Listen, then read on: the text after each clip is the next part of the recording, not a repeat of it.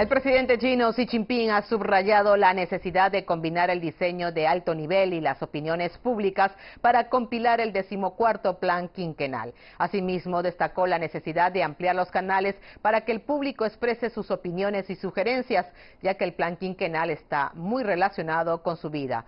Xi Jinping agregó que se debe alentar a personas de todos los ámbitos de la vida a ofrecer consejos para que sus expectativas y experiencias a nivel de base puedan integrarse en el plan.